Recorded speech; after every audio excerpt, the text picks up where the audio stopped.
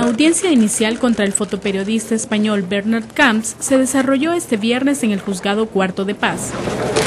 El ciudadano español es procesado por homicidio culposo en prejuicio de un cabo de la Policía Nacional Civil y de provocar lesiones a 21 personas. Ha habido eh, un paso a una instrucción es decir, a la siguiente etapa del proceso con medidas sustitutivas a la detención provisional. El acusado concilió con la familia del cabo fallecido y pagó los gastos médicos de los lesionados.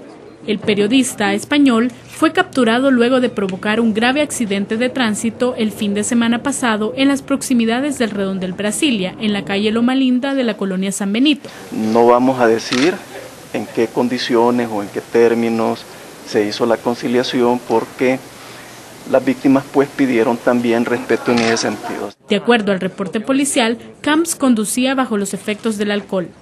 El fotoperiodista quedó en libertad como imputado de homicidio culposo y conductor temerario.